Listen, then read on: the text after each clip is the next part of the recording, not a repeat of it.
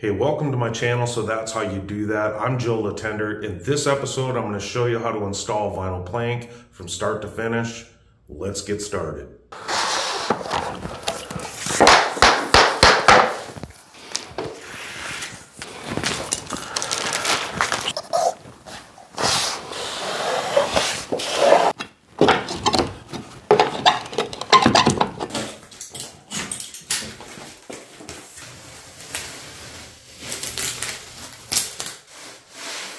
Before we could start installing vinyl plank on this installation, we needed to go and do a little bit of floor prep. This is on a concrete slab and we found a really nasty hump in the middle of this floor, so we needed to take the grinder after it. Now there wasn't much dust with this because we were able to connect the vacuum to that. You can really make quick work with a grinder like that, and you could probably rent one in your area.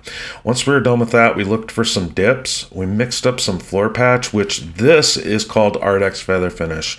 I recommend that anyone needing to do some floor prep would use this product it bonds just about to anything. It's really easy to use, and when it dries, it's it's flexible, so it's not going to crack out on you. Now, I like to use a notch trowel to control how much of the depth of the floor patch that I'm putting down, so I'm not going to add too much. Now, we'll probably have to put another coat on that spot, but this stuff really is easy to work with. You can see Brandon here, my son-in-law. He was this is his first time ever doing floor fill. He did a really nice job, and honestly, I think he enjoyed it. So now I had a quick discussion with Brandon. I know what the box says to just start with a full piece and go, but I wanted to know if he had any concern about a small piece being somewhere in the room. And he said yes, he was concerned. Then I brought him over to the bathroom doorway and I asked him if he wanted to have a transition in that doorway. He said no. So I told him, well, let's put a little thought into this layout then. Okay, so the goal here is that we want this joint of the plank to be in this doorway okay? We don't want to have it so that it would fall something like this, where we have to wrap around both sides of this door. And you can see we'd have a really small piece there and a small piece there. So we want to try to avoid that. Is all I'm going to do here is I'm going to measure the hallway here. And I have 45 and 3 quarter. I'm just going to divide that in half. So I made a mark at my spot where it's halfway. Now I moved this over to the center mark there, put it right there, and now you can see I'm gonna have a pretty much a full piece here, which you'd think that's good, but taking the chance of starting over on the other side of the room and having this full piece be here, I don't really wanna take that chance. So what I can do is I can measure this plank, the width of this plank, divide it in half, which I did. It's two and three quarters, so I made a little mark right there. Now I want to move this line over either this way or this way, it doesn't matter, two and three quarters of an inch, so half a plank. So I measured, made my mark right there. Now if I move this over, you can see how large of a piece I'll have here, and it'll be the same on this side. If I have it right there, you can see it's gonna land in the doorway. That should be over a little bit more. Now we're just gonna snap a line here and we'll go and check to make sure that we don't have any tiny pieces anywhere else. Okay, so I had that mark right there and then I measured away from this wall right here and made that exact same mark there. Get it over both these marks and now I'll snap a line. Now that we snap that line, we want to transfer it out into the family room where we're going to start our vinyl plank. And what I do is I put together 10 plank and I just measure that to transfer the line over the proper amount of plank from that line. Imagine if I put a bunch of plank together and started at that chalk line we snapped, that mark right there is where the plank would end. So now I just measure from that outside wall, transfer that same measurement down on the other side of the room, snap a line, and now we're just going to measure around to see if we need to adjust that line at all to avoid a small piece somewhere. All right, so we went around and measured this entire thing, and we're going to have about an inch and a half piece along this outside wall, but all this is going to be buried with furniture, so that's the place that we'd rather have a small piece. Now to start plank here, you have a groove, and then you have the tongue, which is a little smaller. Now you always want to point the tongue towards your starting wall, and you always want to work away from the groove as much as possible. So that means we'll work away from the groove this way, and the groove here will work towards that way. So this is a drop and lock, so I haven't pounded this part together yet. Now the rest of this is a tongue and groove. And so what I like to do is I'll take a piece and I'll just put it together like this so that I know that I have this straight with this piece right here. And then we'll just continue down doing that same thing.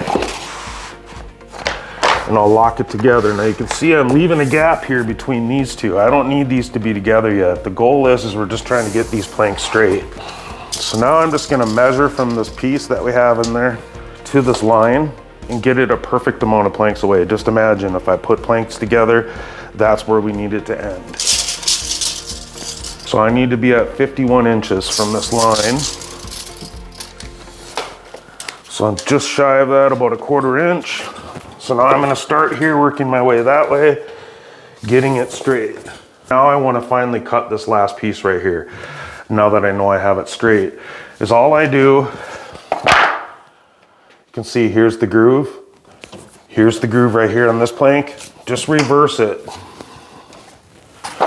Put it up against the wall. Make sure you leave an expansion joint. If your sheet rocks up off the floor, it can go underneath it, which this is. So we're gonna go under a little bit.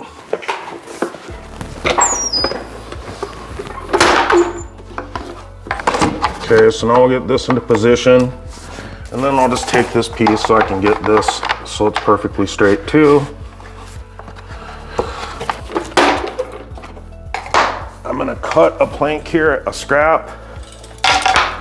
I'm gonna cut the locking system off, which is the groove, not the tongue.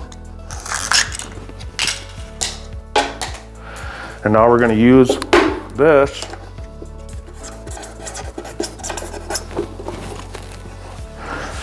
as a cheater board. And now I'm just gonna take this cheater board and run it up against the wall. And this is marking my plank for this piece that we're putting in there.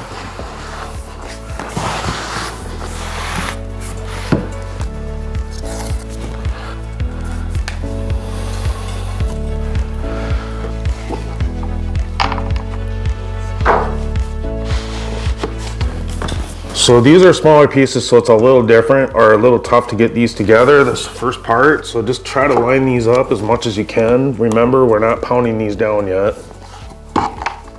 Just get it in the main part of the groove or the joint, the groove. Slide it all the way down until you get this to where it needs to be.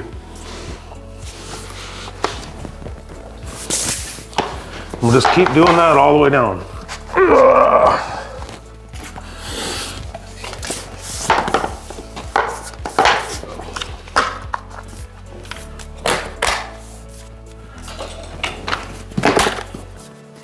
So I got all this together. Now I'm gonna, now I'm committed to pounding the joint down.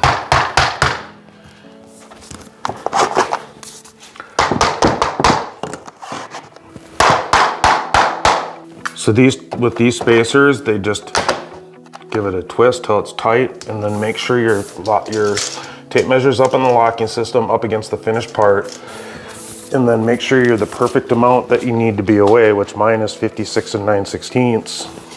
All right, I wanna to talk to you about how you stagger your joint. You want this to be a random pattern. So here's one joint right here. Now on my next row, I put the joint here. And now I'm gonna start with the joint right here. So there's no formula to this. Just make sure that these joints never line up with one another. That's all you need to do. It's as easy as that. All we want to do is get this plank started inside the joint and then get it locked or in there, have it up at an angle. Once it gets into the channel correctly, just slide it back until you get this lined up correctly. Take your tapping block, Now it's all down flat. This is lined up right. Now I just take my mallet and hit that in.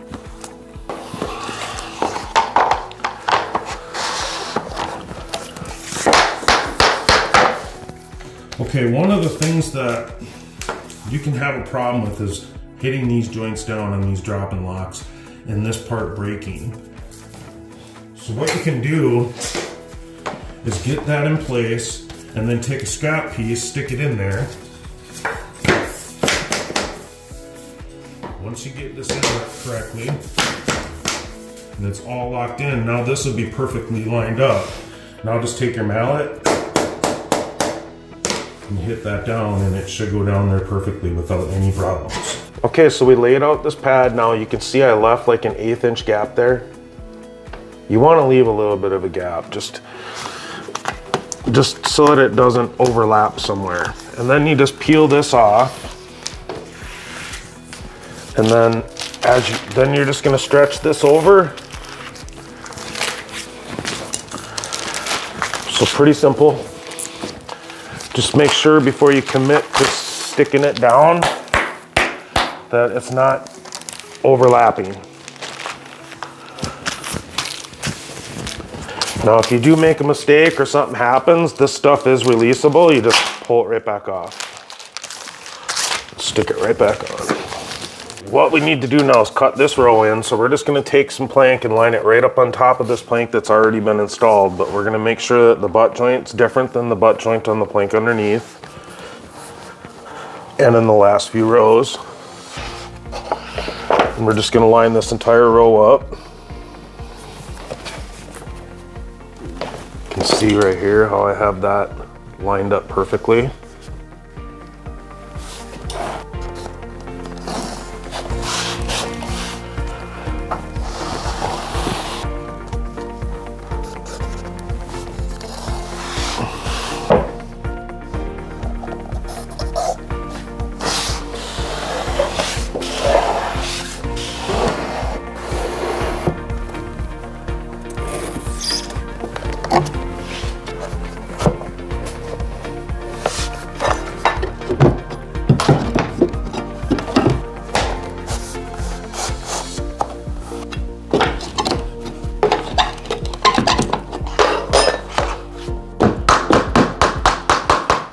What we're gonna do to come around into this hall is I'm gonna hook up a scrap piece right here.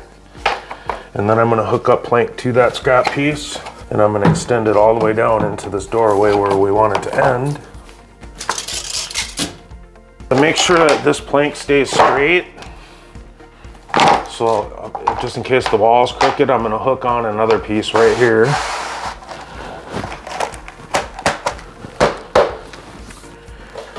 That all still stayed straight, so I'm gonna stick with where I measured it. Now I'm just gonna run the cheater board along the wall here.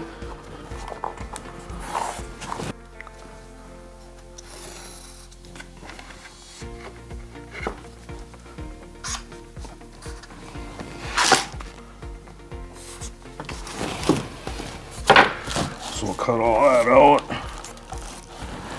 And this little part right here will come up through the door.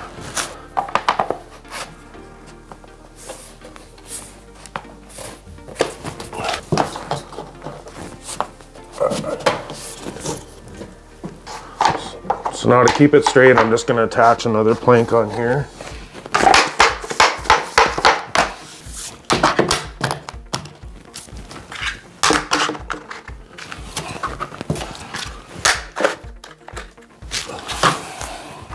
I got my starter piece for the next row. Just slide this one down where it needs to go.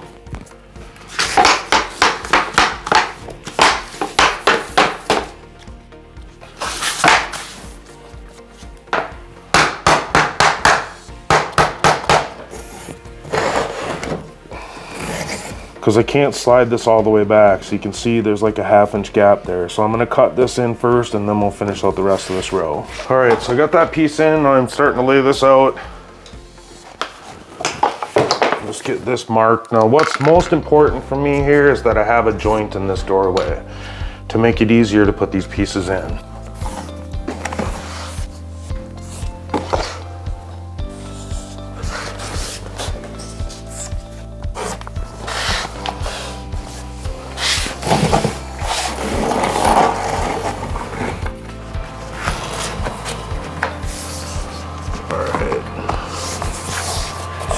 Yeah, like I said, making sure that you put a joint in the doorway here really makes this a easy piece to put in then.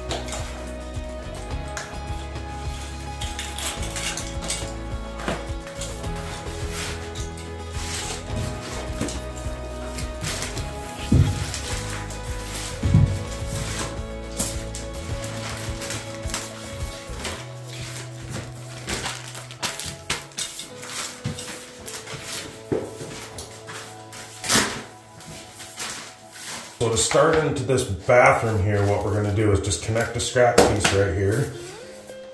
Connect another piece to that scrap piece.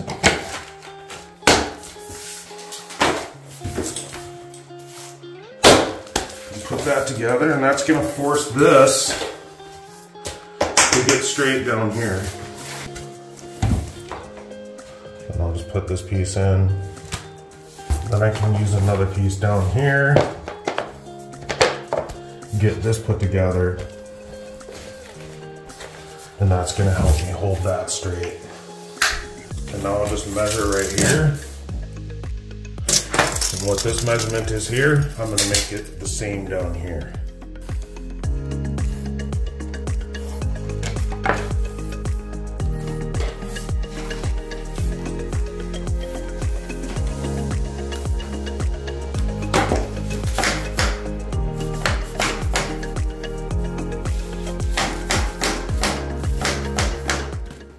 Able to just use my tapping block to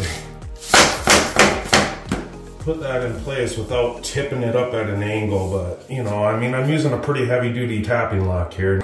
You want to make sure that if you have a weak locking system that breaks easy, you use a scrap and then just you put the scrap on there and hit that into place.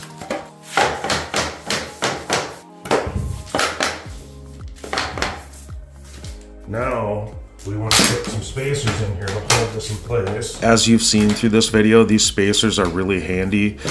Actually, they're absolutely incredible. I love using these things. Now, at the end of the video, I'm going to go through all of these tools.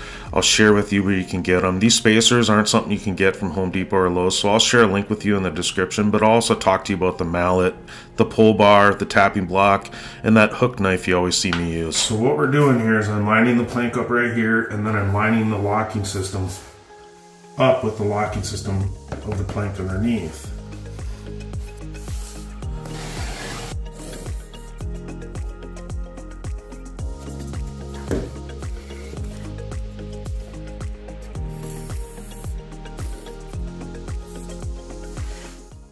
Now along this tub here, I usually only want to have an eighth of an inch gap along here. You can go a little bit more than that, but because it's a vinyl plank, it's not going to expand and contract too much, um, if at all, especially with SPC with a stone core. This right here is going to be just fine to be able to leave an eighth inch gap and then we'll use a silicone to fill in that gap and make it look really nice and pretty. Now I want to make sure that I make this cut really pretty and not jagged or any chipping at all. So I'm going to use a circular saw on this. You could also use a table saw or even a utility knife, but this particular plank, this does not cut with a utility knife for me.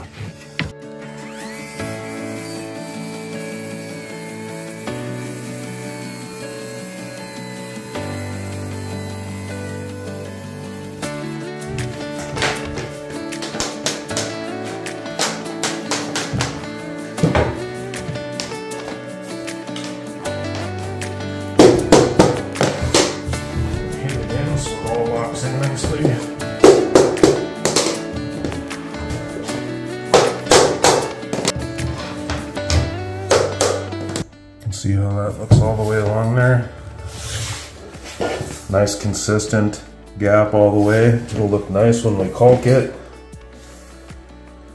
So to do this flange is all I did is I cut a piece. I'm gonna overlap this plank on top of here, lining up the locking system. Now I'm just gonna take my cheater board and I'm gonna mark where the end of this is right here on this plank. And then I'm gonna turn it this way and I'm gonna mark where it ends over on this side. And then same thing over here. just try to square it up. I'm squaring it up with the locking system right here. So I know it ends somewhere right in there. So what we want to do is we just want to have a joint right here. So before I mark and cut this, I'm going to cut the flange first. So here's the piece right here that I have cut to end right at that pipe right there. Now I lined up these two edges perfectly. And you can get something like this from the hardware store for a couple of bucks. It's the same size as the flange over there. And I'll just draw this circle. Of course, you want to make this so it's big enough. It's going to be oversized so that we have an expansion gap around the flange. Okay, so I went out and cut all this. I used a jigsaw to cut this. And trust me, with this SPC core, it eats jigsaw blades for breakfast, so don't buy the good ones if you use a jigsaw. And then this broke. No big deal though, because the toilet's gonna cover that. I'll stick this piece in. Now I'm gonna have to cut part of this locking system off here, so I'm just marking it, and that's what I'm gonna cut right there. And then this piece right here, I already pre-cut. And so I just made a couple of marks like here and here and then figured out where it went this way, where it ended. And then I just draw, drew a little circle there. Now remember, that's gonna get covered. I'll probably cut it a little smaller than what I'm showing there, but it can be pretty decent sized. Okay, we'll stick this piece in and I'll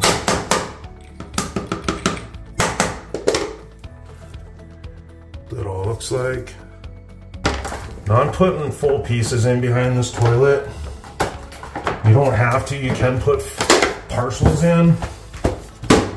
But I kind of like that full pieces around the toilet. Now this piece right here is a cutoff that I had from my very first wall. And so since I just have the tongue on here, I'm just gonna line the tongue up right with the joint there. And now I'll just use the cheater board to mark and cut this last piece. This last piece in place, and then just use the pull bar if I need to to make sure it's in there.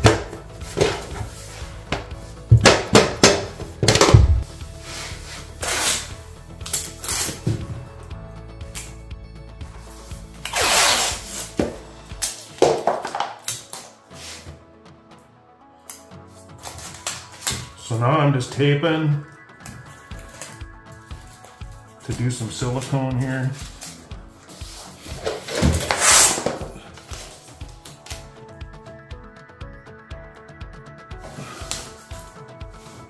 Okay, so I ripped this piece of tape right here, no big deal.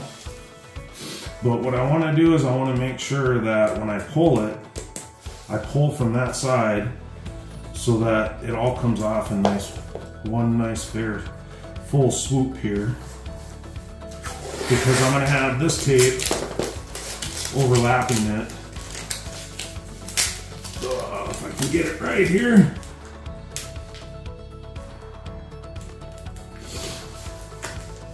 So if I pull off from down there, then this piece will still come with it all at one time.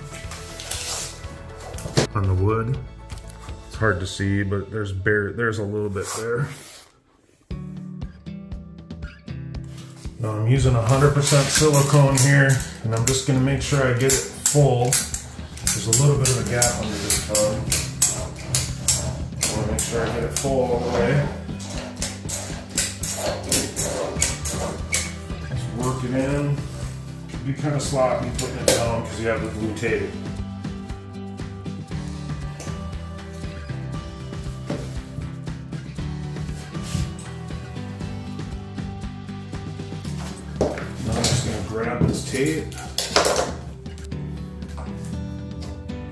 Hopefully. And then I'm just gonna take both at the same time and just peel nice and slow.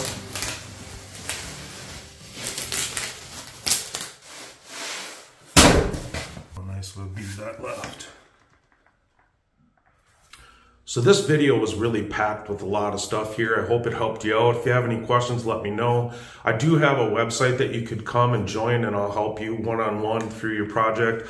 I'll leave a link below for that. It's called Plank Boot Camp, so you can go check that out. Now I'm gonna go through the tools that we went through um, that I used in this installation. This is that spacer. You can see it adjusts back and forth just by turning this knob right here. These things are really nice, fast. They work unlike any of the other spacers out on the market. I will have a link to my tools page, which will bring you to these tools that I'm sharing with you. Absolutely incredible. Now this comes in a pack of four, okay?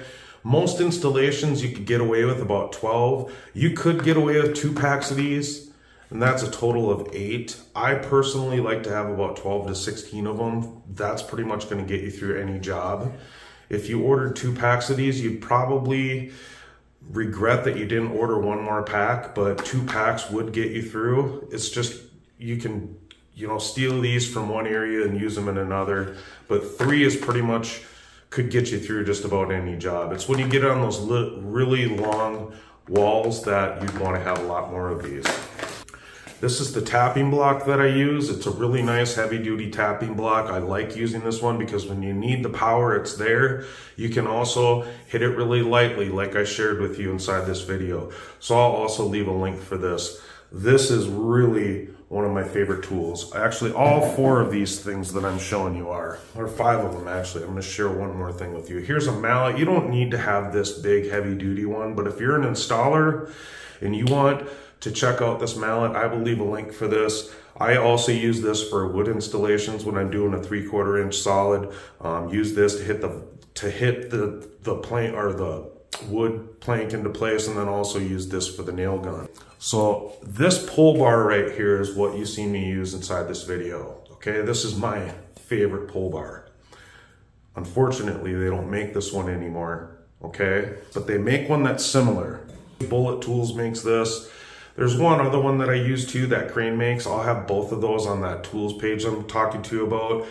I just like to have a good solid tapping block and a good solid pull bar to make sure that you're going to be able to use it in those spots where you really need to beat on it a little bit. A lot of these pull bars that you'll find out on the market are really cheap. You hit them once and they bend. That's not what you want. The two tools I would not cheap out on are going to be the pull bar and that tapping block. Now the last tool that I want to share with you is this hook knife that I use. This is actually called a linoleum knife. This is by far my most used tool that I have in my arsenal. I love this tool. You've seen me use it a lot inside this video. These are really inexpensive. I have a bunch of them laying around. I use them for everything. I mean, and when I say everything, I mean everything. If you have one of these, you're going to find yourself going and finding this out of the toolbox for many of the things that you do around the house. Check this out. These things are absolutely incredible. Love this tool. Been using it for 30 some years. If there's one other video of mine that you watch, this would be the video I would tell you to watch. So click on that and that'll bring you to another video and it'll walk you through another installation showing you some other tips that I wasn't able to put into this video. Really a good one to go to. These are the two videos I'd tell you to watch. I just want to thank you for watching this video, giving me your time. I hope that I was able to help you. And I do hope and pray that God blesses you and your family. And I hope he blesses you through this project. And I pray for that in Jesus' name. All right, my friends, I'll see you on the next video.